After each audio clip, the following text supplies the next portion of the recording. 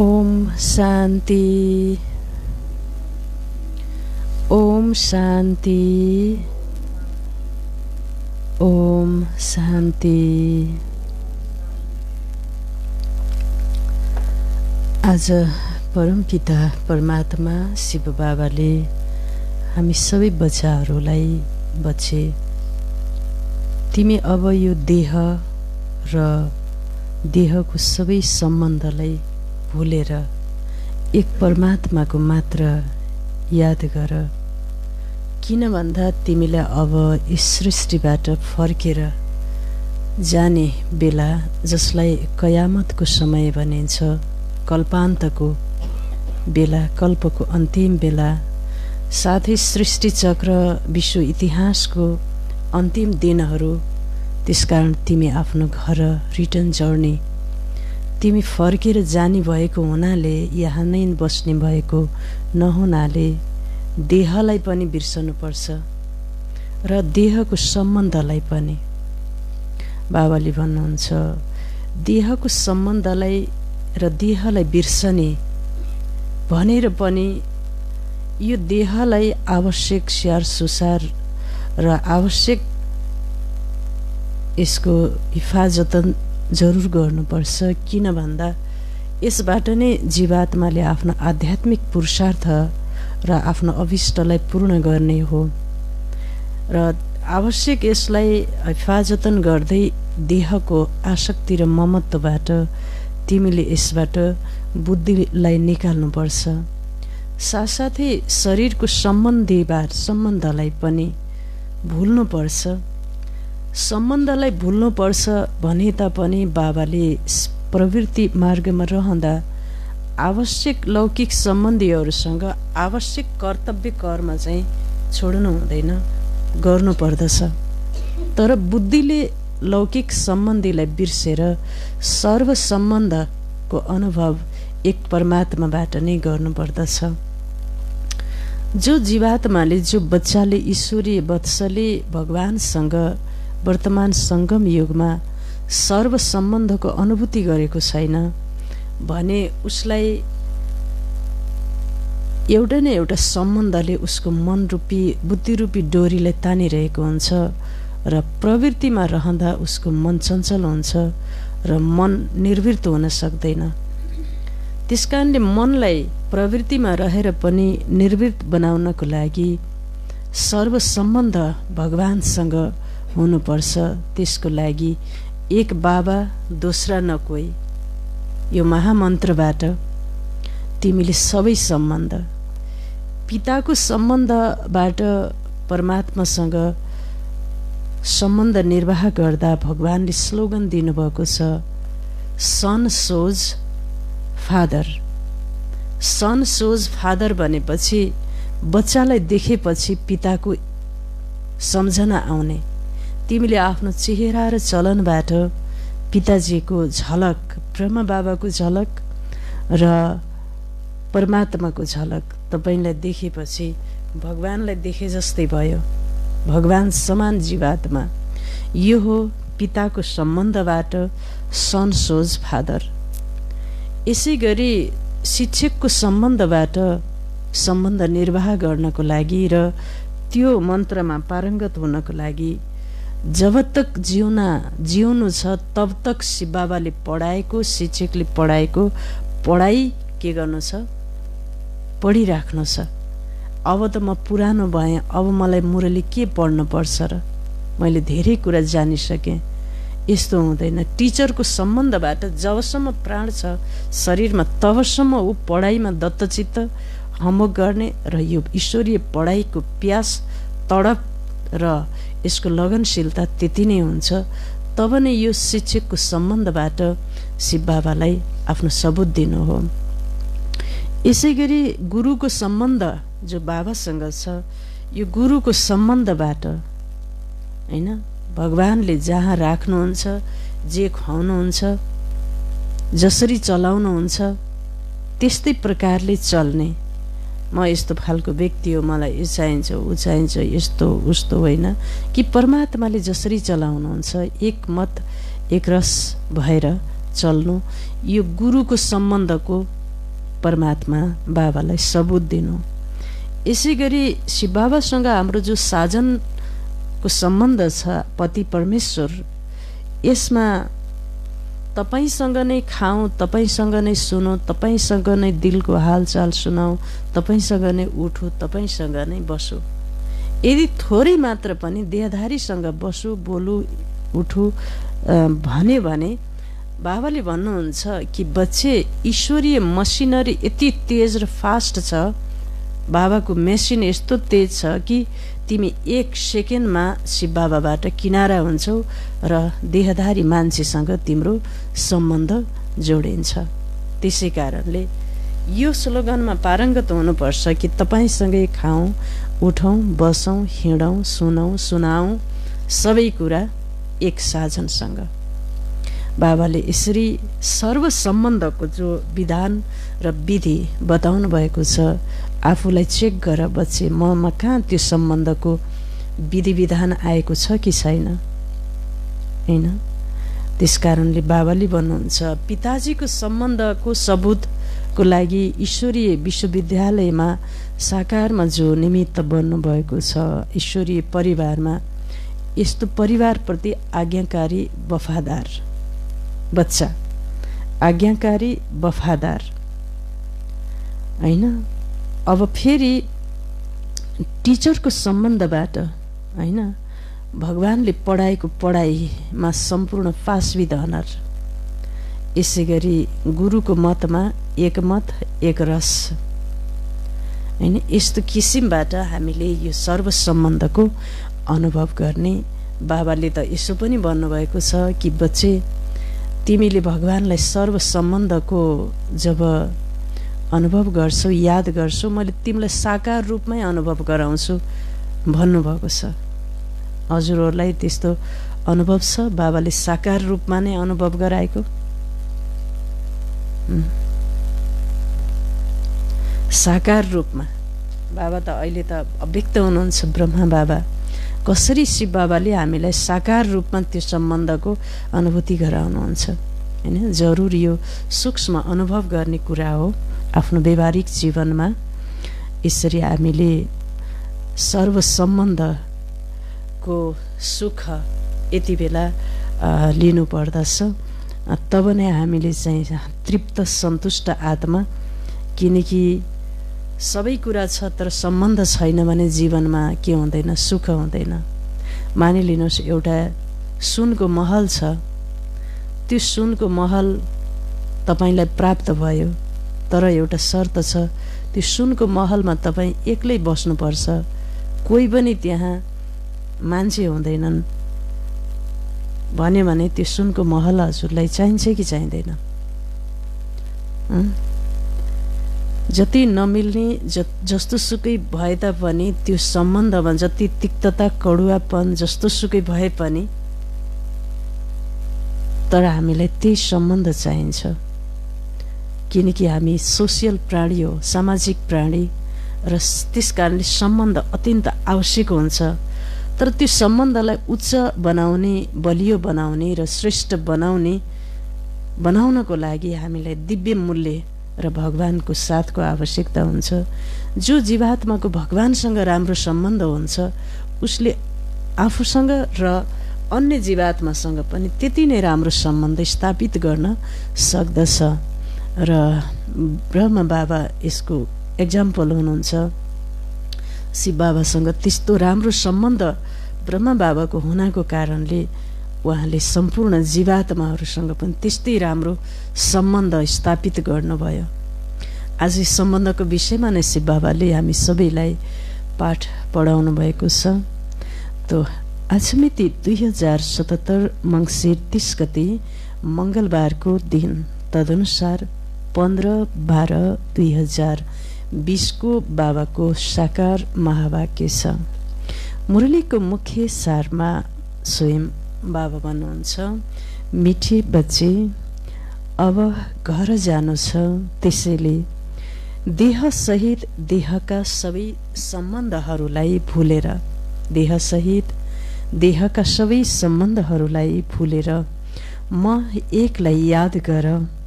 पावन बन। म एकलाई याद गर पावन बन।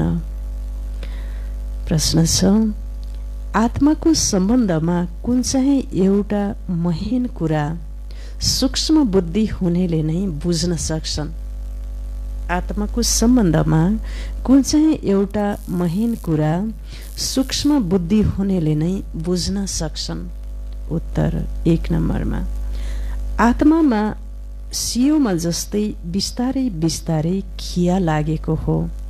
सियोमा एकै दिनमा खिया लाग्छ कि लाग्दैन? एकै दिनमा लाग्छ र लाग्दैन। सियोमा खिया पनि जो चढ्छ त्यो पनि कसरी चढ्दो रहेछ? बिस्तारै बिस्तारै आत्मामा सियोमा जस्तै बिस्तारै बिस्तारै खिया लागेको हो। त्यो यादमा रहेपछि उत्रिँदै जान्छ। जब खिया उत्रिन्छ अर्थात् आत्मा तम प्रधानबाट तम प्रधानबाट सतु प्रधान बन्छ। अनि बाबाको आकर्षण हुन्छ र बाबाको साथमा फर्केर जान सक्छ। दुई जति खिया उत्रिँदै जान्छ त्यति अरूलाई सम्झाउँदा उनीहरू खिचिन्छन्। होइन? यी कुरा धेरै सूक्ष्म छन् जो जुन मोटो बुद्धि हुनेले बुझ्न सक्दैनन्। मोटो बुद्धि हुनेले बुझ्न सक्दैनन्। ओम शान्ति। भगवान बाज अब बुद्धिमा को आयो? ती जो गीता पाठशाला आदि छन् त्यहाँ उनीहरूलाई त भगवानुवास भन्दा कृष्ण नै बुद्धिमा आउँछ। यहाँ तिमी बच्चाहरूलाई त उच्च भन्दा उच्च बाबा नै याद आउँछ। यो समयमा यो हो पुरुषोत्तम बन्ने सङ्गम युग। बाबाले बच्चाहरूलाई बसेर सम्झाउनुहुन्छ। देहसहित देहका सबै सम्बन्धहरूलाई भुलेर आफूलाई आत्मा सम्झ। यो धेरै आवश्यक कुरा हो जुन यस सङ्गममा बाबाले सम्झाउनुहुन्छ। आत्मा नै पतित बनेको छ फेरि आत्मा पावन बनेर घर जानु छ। पतित पावनलाई याद गर्दै आएका छन्। तर कोही पनि केही पनि जानेका छैनन्। मनुष्य बिल्कुलै घोर अन्धकारमा छन्। भक्ति हो रात ज्ञान हो दिन। रातमा अन्ध्यारो दिनमा उज्यालो हुन्छ। दिन हो सत्ययुग रात हो कलियुग अहिले तिमी कलियुगमा छौ।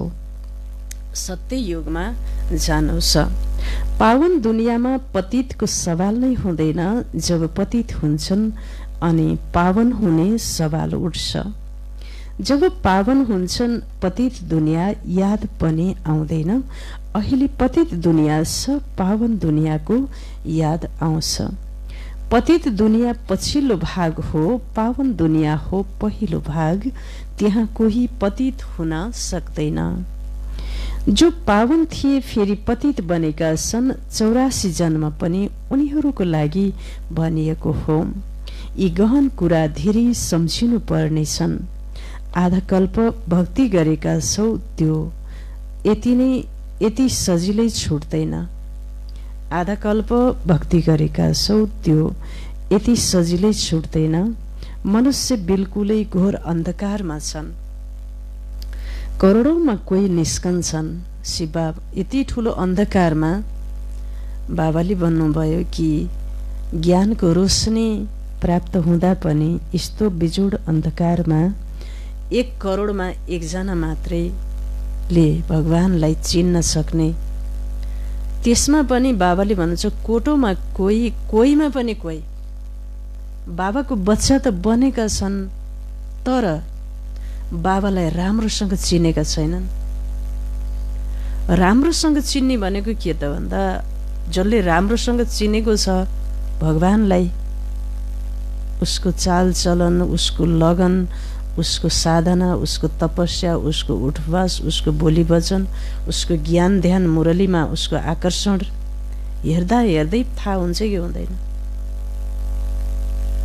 ज्ञानी त हो तर उसको व्यवहार आचरण देख्दाखेरि ज्ञानी जस्तै लाग्दैन फेरि।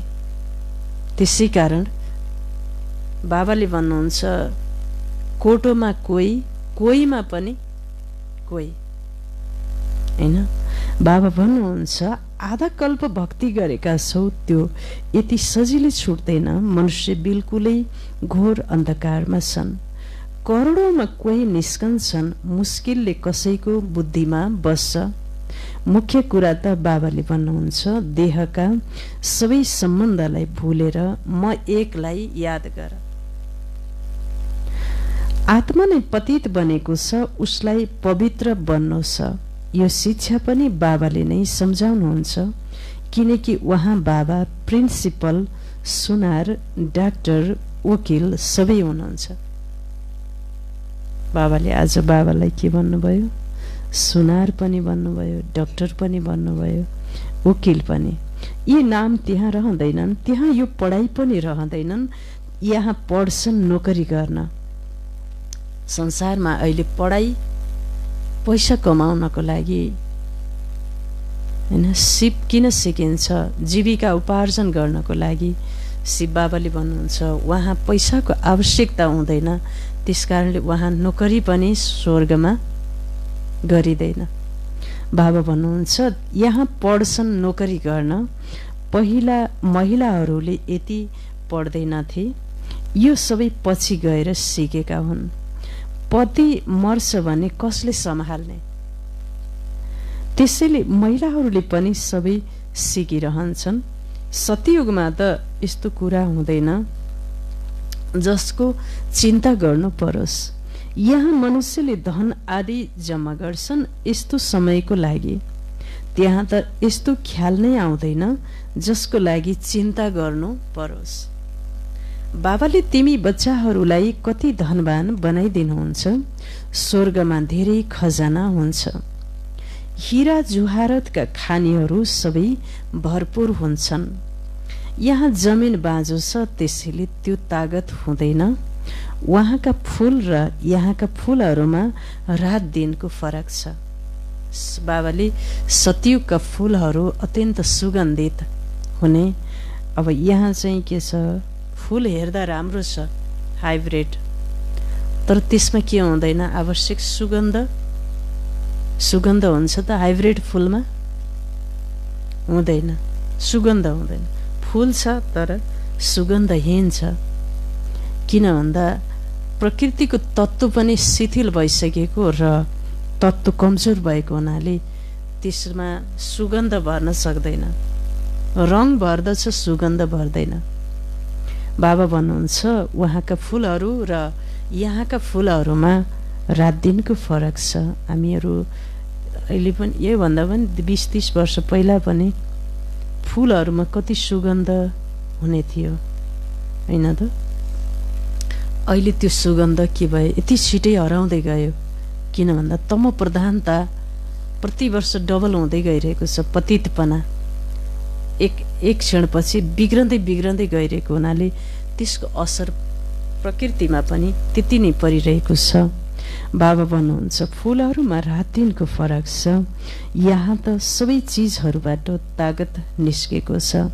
चाहे अमेरिका आदिबाट बिउ लिएर आउन् तैपनि तागत हुँदैन। धर्ने नै यस्तो छ जसमा बढी मेहनत गर्नुपर्छ। त्यहाँ त हरेक चिज सतो प्रधान हुन्छ प्रकृति पनि सतो प्रधान हुन्छ त्यसैले सबै चिज सतो प्रधान हुन्छन्। यहाँ त सबै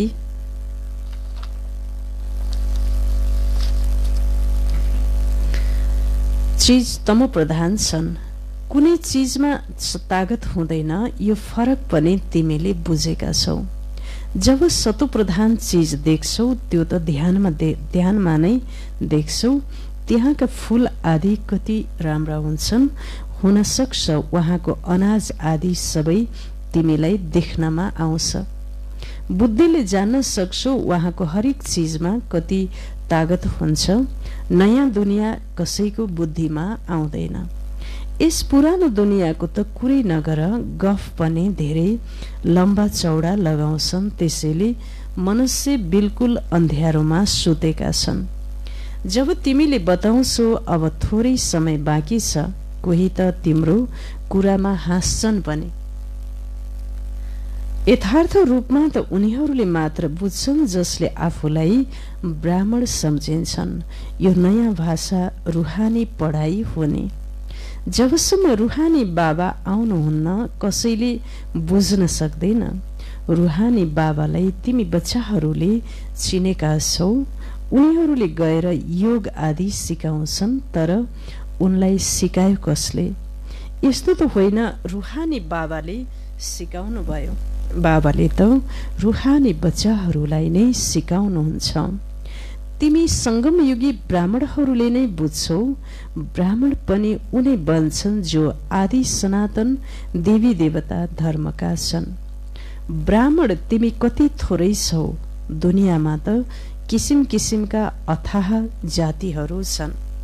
एउटा किताब अथवा अवश्य हुनुपर्छ जसबाट थाहा हुन्छ दुनियाँमा कति धर्म कति भाषा छन्। तिमीलाई थाहा छ यी सबै रहँदैनन्। सतयुगमा त एक धर्म एक भाषा मात्रै थियो। सृष्टि चक्रलाई तिमीले जानेका छौ त्यसैले भाषाहरूलाई पनि जान्न सक्छौ। यी सबै रहँदैनन्। मनुष्यहरूले कति भाषाहरू सिक्छन् त पनि यो भाषाहरू कुनै पनि रहँदैनन्। एउटा मात्र दैवी भाषा रहन्छ। सतयुगमा बाबाले त्यो हो हिन्दी भाषा पनि बाबाले भन्नुभएको छ। यी सबै शान्तिधाममा जान्छन्। यो सृष्टिको ज्ञान अहिले तिमी बच्चाहरूलाई मिलेको छ। तिमीले मनुष्यलाई सम्झाउँछौ फेरि पनि कहाँ बुझ्छन् र कोही ठुला व्यक्तिहरूबाट उद्घाटन पनि त्यसैले गराउँछौ किनकि प्रसिद्ध छन्। प्रसिद्ध आवाज फैलिन्छ। वाह राष्ट्रपति प्रधानमन्त्रीले उद्घाटन गर्नुभयो। होइन? बाबाले आज भन्नुभयो शिव बाबाले अब कोही पनि ठुलो प्रतिष्ठित भएको व्यक्तिलाई ल्यायो भने आवाज फैलिन्छ। माइक पर्सनालिटी होइन? जसलाई सबैले चिनेको छ देशभरि। जो व्यक्तिलाई सबैले चिनेको छ देशभरि उसलाई कोर्स गराउन ल्यायो भने ज्ञान दिन ल्यायो भने त्यसको सन्देश चारैतिर फैलिन्छ। त्यसबाट पनि एक किसिमको भावनामा विचारमा के हुन्छ? तरङ्ग फैलिन्छ बाबाले भन्नुहुन्छ यी बाबा गए भने मनुष्य कहाँ सम्झिन्छन् र परमपिता परमात्माले उद्घाटन गर्नुभयो यो मान्दैनन्। कोही ठुलो व्यक्ति प्रशासक आदि आउँछ भने उसको पछाडि अरू पनि आउँछन्। यिनको पछि त कोही पनि आउँदैनन्। होइन? बाबाले भन्नुहुन्छ त्यसै कारणले पिताश्री ब्रह्म बाबाले हमेसा भन्नुहुन्थ्यो बच्चे तिमीहरूले बाबालाई रेलवे स्टेसनमा पनि लिन नआउनु धुमधाम नगर्नु फुलका मालाहरू इत्यादि लिएर नआउनु। किन भन्दा यो उहाँ बाबा को हुनुहुन्छ भनेर जीवात्माहरूले चिनेकै छैनन् र बाबाको त्यस्तो प्रख्याति पनि भएको छैन। बाबा निराकार ज्योतिर्बिन्दु शिव बाबा। यसरी तनमा आउनुहुन्छ भन्ने कुरा मानिसलाई थाहा छैन। त्यस कारणले यो गुप्त कार्य भइरहेको छ। त्यस कारणले फुलमाला भव्यता गर्ने यस्तो कार्य तिमीले नगर्नु। बाबा त अहिले पनि पुरुषार्थी हुनुहुन्छ। त्यस कारणले यो मालाहरू लगाउने त देवी देवताले हो भनेर पिताश्री ब्रह्म बाबाको जति पनि फोटोहरू तस्विरहरू हामीले देख्छौँ कहीँ पनि। जगदम्ब सरस्वतीले मम्माले माला लगाएको कहीँ कहीँ देखिएको छ तर बाबाले माला लगाएको फोटो कहीँ देख्नुभएको छ? ब्रह्म बाबाले माला लगाउनु भएको यस्तो फोटो हामीले यज्ञको हिस्ट्रीमा कहीँ पनि देखेकै छैनौँ होइन? अब दादिजीहरूको छ। मम्माको छ तर बाबाको चाहिँ कहीँ पनि छैन। बाबा भन्नुहुन्छ कोही ठुलो व्यक्ति प्रशासक आदि आउँछ भने उसको पछाडि अरू पनि आउँछन्। यिनको पछि त कोही पनि आउँदैन। अहिले तिमी ब्राह्मण बच्चाहरू त धेरै कम छौ। जब धेरै सङ्ख्या हुन्छ तब बुझ्छन्। बाबाले के भन्नु जब सङ्ख्या विशाल हुन्छ तब मात्र मान्छेको ध्यान जान्छ। के रहेछ यो? कसरी भएको रहेछ कसरी यो कार्य सम्पादन भएको छ भनेर बल्ल बुझ्छन्। अहिले यदि बुझे भने त बाबाको पासमा भागेर आउँछन्। एउटा बच एउटाले बच्चीलाई भन्यो जसले तिमीलाई यो सिकायो हामी डाइरेक्ट उन किन उनको पासमा नजाने? तर सियोमा खिया लागेको छ त्यसैले चुम्बकले कसरी तान्छ? जब खिया पुरै निस्किन्छ अनि चुम्बकले तान्छ। सियोको एउटा कुनामा खिया लागेको छ भने पनि त्यति खिच्दैन। सारा खिया त पछि गएर नै उत्रिन्छ। जब यस्तो बन्छौ अनि बाबाको साथ फर्केर जान्छौ। अहिले त चिन्ता छ हामी तम प्रधान छौँ खिया चढेको छ। जति याद गर्छौ त्यति खिया सफा हुँदै जान्छ। बिस्तारै बिस्तारै खिया निस्किँदै जान्छ। खिया पनि यसरी बिस्तारै बिस्तारै चढेको हो नि फेरि उत्रिन्छ पनि यसरी नै। जसरी खिया लागेको छ त्यसै गरी सफा पनि हुनु छ यसको लागि बाबालाई याद गर्नु छ। होइन बाबाले आज मुरलीको मुख्य सारमा के भन्नुभएको थियो? जुन बेला कुनै पनि देहधारीलाई तिमीले स्मरण गर्दछौ त्यो बेलामा शिव बाबालाई के गरेका हुन्छौ? बिर्सिएकै हुन्छौ। होइन? त्यस कारणले देह को स्मृति दिलाउनु पनि बडा पाप हो। होइन? त्यस कारणले बाबाको स्मृति दिलाउनु पुण्यको कार्य हो। होइन? त्यस कारणले जहाँ पनि यो आफ्नो एकदम राम्रो फोटो खिचेर तस्विर खिचेर आकर्षक देहको फोटो खिचेर मोबाइलमा पोस्ट गर्नु पाप हो कि धर्म होला? लगभग पाँच सय छ सौ मान्छेहरूले हेरे मानिलिनुहोस् हजुरको लौकिक बर्थडेमा पनि। लौकिक बर्थडेमा आज मेरो बर्थडे हो भनेर जब हामीले फोटो राख्छौँ फोटो राख्दाखेरि हजारौँ व्यक्तिले हामीलाई कमेन्ट लेख्नुभयो विस गर्नुभयो। तर त्यति बेला उहाँहरूलाई शिव बाबाको याद आयो कि हाम्रो याद आयो? त्यसै कारणले गर्दा यो पनि यो देहको स्मृति दिलाउनु पनि एक किसिमले ठुलो पाप रहेछ। त्यस कारणले यो शरीरको स्मृति न त गर्नु छ न त अरूलाई दिलाउनु छ। होइन? मलाई नबिर्सिनु नबिर्सनु होला है भन्थ्यौँ नि हामी पहिला पहिला। यो पनि के रहेछ? एक प्रकारले पाप रहेछ। भगवान्लाई स्मरण गर्नु होला। परमात्माको स्मृतिमा रहनु। यसबाट नै कल्याण छ। कल्याणकारी बाबा। किनकि देहधारीको स्मृतिबाट कुनै पनि हालतमा कल्याण हुँदैन। त्यसै कारणले बाबाले भन्नुहुन्छ त्यसै कारणले पिताश्री ब्रह्म बाबा जब मधुवनमा हुनुहुन्थ्यो बाबा त्यति बेला अब यज्ञको अनन्य बच्चा दादा विश्व किशोर जबकि उहाँ यो संस्थाको महासचिव प्रबन्धक हुनुहुन्थ्यो र जब उहाँको मुम्बई हस्पिटलमा देहान्त भयो र बाबाले भन्नुभएको छ अलमाइटी बाबाले बच्चाको इच्छा त हस्पिटलको अपरेसन थिएटरमा नै देह त्याग गर्ने इच्छा थियो। तर अपरेसन थिएटरभित्रै देह त्याग गर्दा डक्टरको बेजेती हुन्छ भनेर मैले चाहिँ बच्चालाई पाँच दिनको आयु दिएको छु। तब उहाँ पाँच दिन बाँच्नुभयो र उहाँले देह त्याग गर्नुभयो। र देह त्याग गरिसकेपछि बाबा अब त्यस्तो महान महासचिव अब ईश्वरीय विश्वविद्यालयको बाबाको ब्रह्म बाबाको राइट ह्यान्ड जसको द्वारा बाबाले सबै कार्य गराउनुहुन्थ्यो। त बाबालाई फोन भयो कि बाबा यो देहलाई माउन्ट आबुमा ल्याउने कि यहाँ के गर्ने? बाबाले उत्तर दिनुभयो बच्चे तिमीलाई थाहा छ बाबाको देहसँग प्यार छैन। बाबाको प्रेम आत्मासँग हो उहाँ नै दाह संस्कार गरिदिनु। तब दाह संस्कार हुँदा त्यो मृत्युको फोटोहरू धेरै फोटोहरू खिचिएको थियो।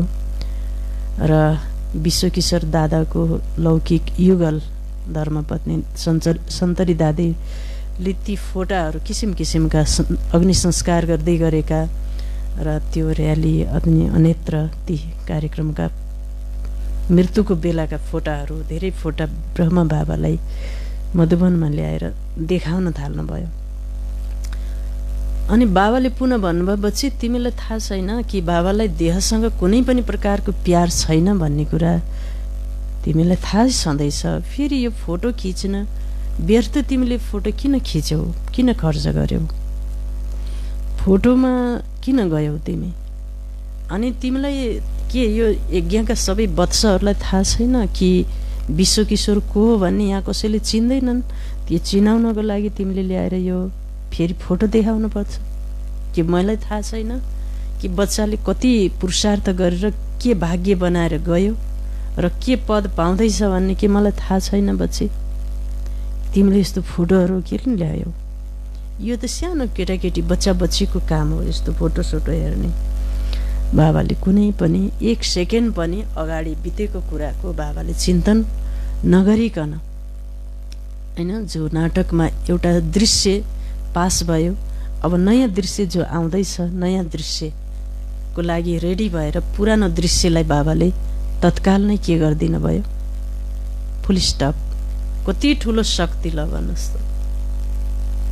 मान्छेको मृत्यु भएको दुई वर्ष भयो तर मान्छे रोइरहेका छन्। कति ठुलो अज्ञानता। अज्ञान रूपी अन्धकार मोहको बादल एकदम कडा कुहिरोले आत्मज्ञानलाई ढाकेको छ सत्यलाई। त्यसैले बाबाले देह र देहको सम्बन्धबाट होइन बुद्धियोग हटाऊ बुद्धियोग हटाऊ बाबा भन्नुहुन्छ यादले कसैको खिया बढी उत्रिन्छ भने कसैको कम जति बढी खिया उत्रेको छ त्यति उसले अरूलाई सम्झाउन सक्छ। यी धेरै सूक्ष्म कुरा हुन्। मोटो बुद्धि भएकाले बुझ्न सक्दैनन्। तिमीलाई थाहा छ राजै स्थापना भइरहेको छ। सम्झाउनको लागि पनि दिन प्रतिदिन युक्तिहरू निस्किँदै जान्छन्। पहिला कहाँ थियो थाहा थियो र प्रदर्शनी म्युजियम आदि बन्द छन्। पछि गएर हुन सक्छ अरू कुनै निस्किन्छन्। अहिले समय त बाँकी छ स्थापना हुनु छ निराश पनि हुनु छैन। कर्म इन्द्रियहरूलाई बसमा गर्न सक्दैनन् भने गिर्न पुग्छन्। इन्द्रियलाई नियन्त्रण गर्ने कला छैन भने गिर्न पुग्छन्। विकारमा गयो भने फेरि सियोमा धेरै खिया लाग्छ। विकारमा जानले बढी खिया चढ्दै जान्छ। सत्योक्ततामा बिल्कुलै थोरै चढ्छ फेरि आधा कल्पमा चाँडो चाँडो खिया चढ्छ। तल गिर्न पुग्छन्। त्यसैले निर्विकारी र विकारी बनिएको छ पवित्रता देवताहरूको निशानी हुने। बाबा भन्नुहुन्छ देवी देवता धर्म प्राय लोप भएको छ। निशानी त शनि सबैभन्दा राम्रा निशानी यी चित्र हुन्। तिमीहरूले यो लक्ष्मी नारायणको चित्र लिएर परिक्रमा गर्न सक्छौ किनकि तिमीहरू यस्ता बन्छौ नि। रावण राज्यको विनाश राम राज्यको स्थापना हुन्छ। यो राम राज्य यो रावण राज्य यो हो सङ्गम। अनगिन्ती पोइन्टहरू छन्। डाक्टरहरूको बुद्धिमा कति औषधिहरूको नाम याद रहन्छ। वकिलको बुद्धिमा पनि अनेक प्रकारका पोइन्टहरू हुन्छन्। उनीहरूको त धेरै राम्रो किताब बन्न सक्छ। फेरि जब भाषण आदि गर्न जान्छौ भने पोइन्टहरूमा नजर गुमाऊ। बाबाले भन्नुहुन्छ ज्ञान सुनाउनु छ भने पोइन्टहरूमा अध्ययन गर नजर गुमाऊ। तीक्ष्ण बुद्धि भएकाले तुरुन्तै देख्छन् पहिला त लेख्नुपर्छ मैले यसरी यसरी सम्झाउनु छ। शिव बाबाले भन्नुहुन्छ पहिला के गर्नुपर्छ? लेख्नुपर्छ मैले यसरी सम्झाउनु छ। त्यो भाषण गरिसकेपछि पनि याद आउँछ नि यसरी सम्झाइएको भए राम्रो हुन्थ्यो। यी पोइन्ट अरूलाई सम्झाउँदा बुद्धिमा बस्छ। टपिकहरूको लिस्ट बनेको होस् फेरि एउटा टपिक लिएर मनमा नै भाषण गर्नुपर्छ वा लेख्नुपर्छ। हेर्नुपर्छ सबै पोइन्टहरू लेखिएका छन्। जति मेहनत गर्छौ त्यति राम्रो हुन्छ। बाबाले त सम्झाउनुहुन्छ यो राम्रो सर्जन छ यसको बुद्धिमा धेरै पोइन्टहरू छन्। भरपुर भएपछि सेवा नगरी मजा आउँदैन। होइन? बाबाले भन्नुहुन्छ सबैले आँखा खोलेर मुरली सुन्नुहोला। बाबाको मुरली सुन्ने बेलामा निद्रा आयो भने आत्मामा ठुलो बोझ चढ्छ। होइन? किनकि निद्राको जब हामीले क्लासमा बाबाको इन्द्र सभामा निद्राको भाइब्रे भाइब्रेसन र वायुमण्डलमा निद्राको तरङ्गहरू आलस्यको तरङ्गहरू फैलाउँदछौँ। सद्गुरु बाबाको दिलबाट हामी हट्दछौँ। ठुलो बोझा चढ्छ। पाप हुन जान्छ त्यस कारणले। यसरी यो मुरली सुन्दाखेरि कपालमा कपडाहरू गुथिएर सुन्नु हुँदैन। किन भन्दा जति तातो हुन्छ त्यति किनकि अलिअलि हावा चल्छ। के हुन्छ? हावा चलेपछि हुन्छ अक्सिजनले गर्दा। अलिअलि जाडो पनि हुन्छ अनि त्यसपछि अलिअलि कष्ट पनि हुन्छ र फेरि निन्द्रा र आलस्य पनि फेरि आउन सक्दैन। होइन? जति फेरि न्यानो शरीरबाट त्यो हुन्छ त्यो त्यति नै त्यो तातोपनाले गर्दा के हुन्छ? अक्सिजनको मात्रा कम हुन्छ र फेरि निद्रा रूपी आलस्य रूपी रावणले के गर्दछ? कुम्भकर्णले श्रापित गर्दछ त्यस कारणले यो कुरामा धेरै ध्यान दिनुपर्छ। आज भोलि गर्दा गर्दै जब एक्काइस दिनसम्म हामी निदाउँदछौँ त्यसपछि आत्मामा संस्कारको टेप पर्दछ पछि फर्कन बडा गाह्रो हुन्छ। जब संस्कार हुन्छ कोही कोही हुन्छ बिस तिस वर्षसम्म पनि निधाएको निधाए निधाएको निधाए। मधुबनमा बाबाको दिव्य अवतरण भएको छ त्यहाँ पनि निधाएको हुन्छ कोही। किन भन्दा एक्काइस दिन भएपछि के हुन्छ त्यो आत्मामा? संस्कार हुन्छ अब। अब फर्कन के हुन्छ? गाह्रो हुन्छ। त्यस कारण एकपटक मात्र निधाउँदा पनि आफूले आफूलाई सजाय भगवान्को यस्तो दिव्य सभामा इन्द्र सभामा बस्दा मेरोमा कुन जन्मको पाप आएर घेरा लागेको छ? होइन? त्यस कारणले यति ठुलो आफूलाई सम्झन पर्छ अवेरनेस हुनुपर्छ। बाबाको क्लासलाई बाबाको मुरलीलाई सामान्य सोच्ने साधारण सम्झिने भुल कहिल्यै गर्नु हुँदैन। होइन?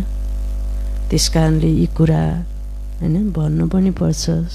त्यस कारणले बाबा भन्नुहुन्छ आफूलाई निन्द्र लाग्यो भने त्यस वायुमण्डललाई दूषित नबनाइकन बाहिर जाने मुख धोएर आउने गर्नुपर्छ।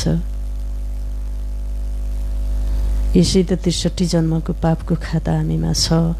पुरा कर्मातीत भइसकेका छैनौँ। त्यही माथि पनि फेरि बाबाको आदेश र जो निर्देशन छ त्यसबाट हामी फेरि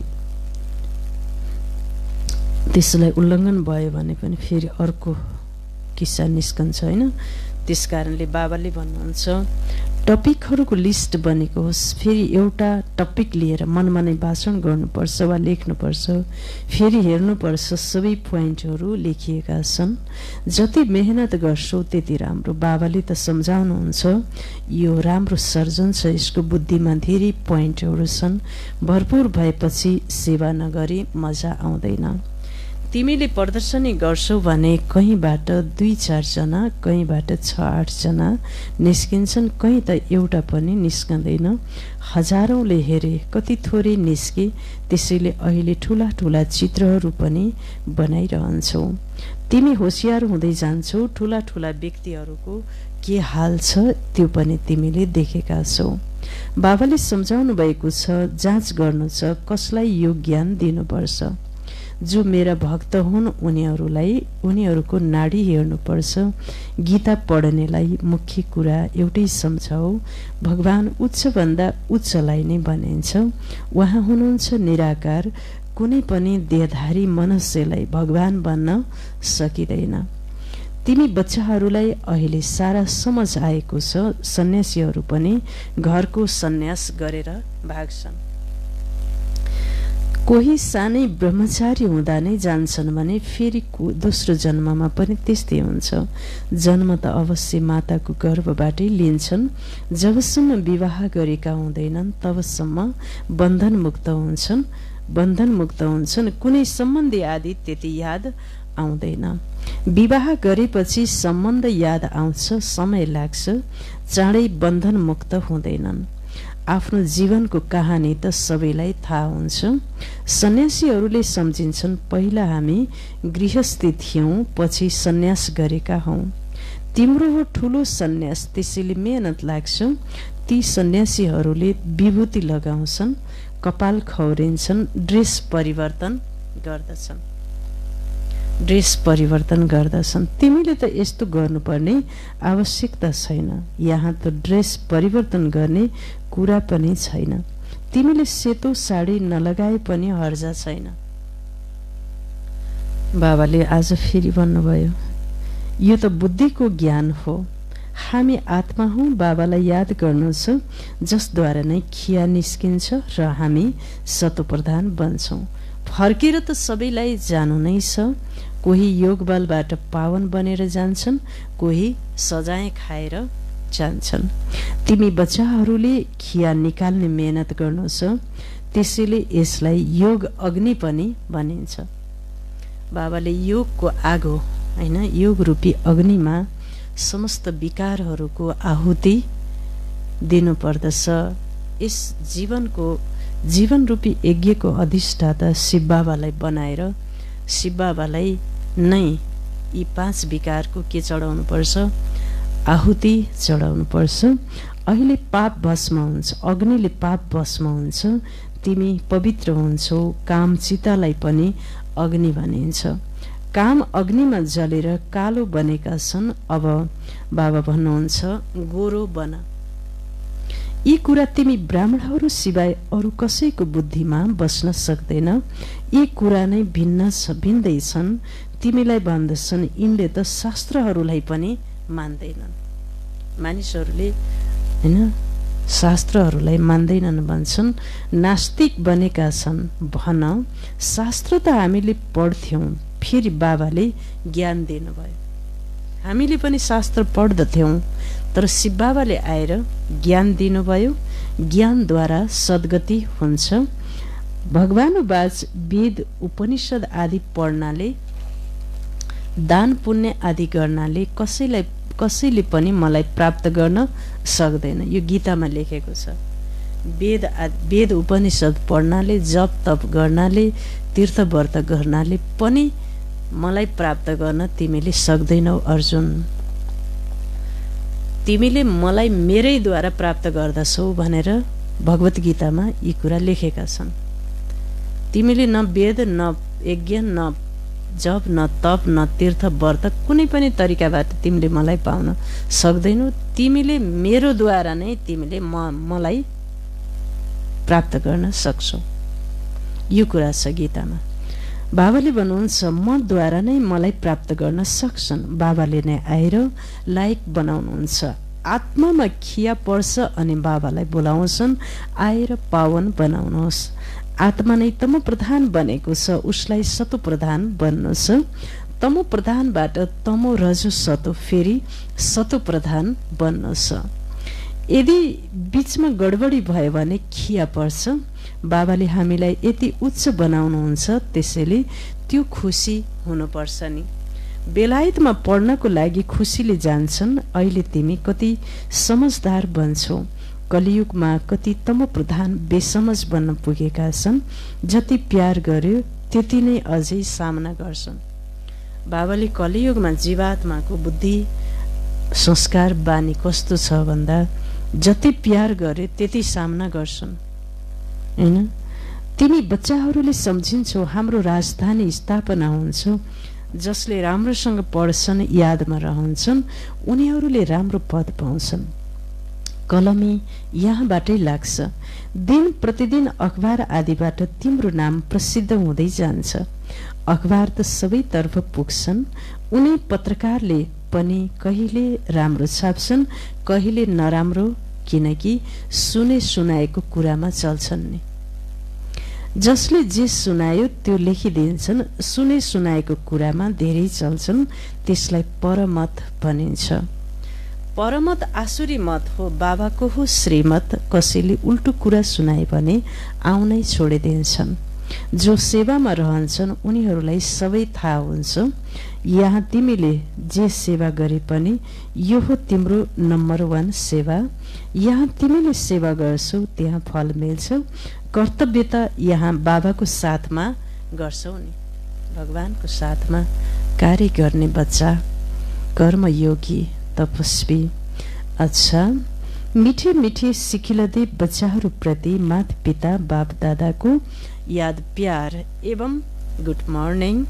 रुहानी बाबाको रुहानी बच्चाहरूलाई नमस्ते।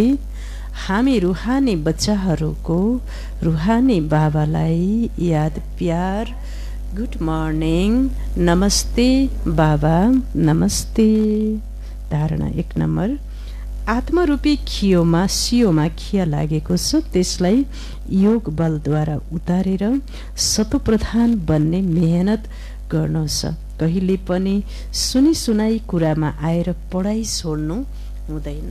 दुई बुद्धिलाई ज्ञानको पोइन्टहरूले भरपुर राखेर सेवा गर्नु छ। अवस्था हेरेर ज्ञान दिनुपर्छ। धेरै तीक्ष्ण बुद्धि बन्नु छ। धेरै तीक्ष्ण बुद्धि बन्नु छ आज वरदान दिनुभयो बाबाले। आदि र अनादि स्वरूपको स्मृतिद्वारा। आदि भनेको के? अनादि भनेको के? आदि र अनादि स्वरूपको स्मृतिद्वारा आफ्नो निजी स्वधर्मलाई अपनाउने। आफ्नो निजी स्वधर्मलाई अपनाउने पवित्र एवं योगी भव। आफ्नो निजी स्वधर्मलाई अपनाउने पवित्र एवं योगी भव। ब्राह्मणहरूको निजी स्वधर्म पवित्रता हो। स्वधर्म। स्वधर्म निधनम श्रेया भन्छन् नि। ब्राह्मणहरूको निजी स्वधर्म पवित्रता हो। अपवित्रता परधर्म हो। जुन पवित्रतालाई अपनाउन मानिसहरूले मुस्किल सम्झिन्छन्। त्यो तिमी बच्चाहरूको लागि अति सहज छ किनकि स्मृति आयो हाम्रो वास्तविक आत्मस्वरूप सदा पवित्र हो। अनादि स्वरूप पवित्र आत्मा हो र आदि स्वरूप पवित्र देवता हो। अहिलेको अन्तिम जन्म पनि पवित्र ब्राह्मण जीवन हो त्यसैले पवित्रता नै ब्राह्मण जीवनको व्यक्तित्व हो। जो पवित्र छ ऊ नै योगी हो। स्लोगन छ। सहज योगी बनेर अल्छी नबन शक्ति रूप बन। बाबाले भन्नुहुन्छ जो शक्ति स्वरूप छ उसको पछाडि नै सारा संसार लाग्दछ। जो अल्छी छ उसलाई सबैले छोडिदिन्छन्। त्यसैले बाबाले भन्नुहुन्छ जसको मुहारमा आलस्यको रेखाहरू छ उसलाई सबैले भगवान् पनि बुद्धिले किनारा गरिदिनुहुन्छ। होइन? आलस्य भएको। सदा जाग्दी ज्योति जस्तो देवीको मन्दिरमा सदा ज्योति जाग्दछ। त्यो चाहिँ तत्परता दिव्यता र जाग्ती ज्योतिको निशानी हो। त्यहाँबाट नै शक्ति सञ्चार हुन्छ। तब नै उसलाई शक्ति रूपा देवी भनिन्छ। त्यस कारणले बाबाले भन्नुहुन्छ शक्ति रूप बन्नुपर्छ अल्छी आलस्य बन्नु हुँदैन। बाबाको बच्चाको चेहराबाट सभामा बसेर निद्राको मुहार देखाउनु बाबालाई निमित्त दिदीलाई। होइन त्यस्तो मुहार देखाउनु राम्रो हुँदैन। त्यस कारणले बाबाले यो आलस्यको रेखा कति बेला पनि चेहरामा ल्याउनु हुँदैन। भन्नुहुन्छ। ओम शान्ति।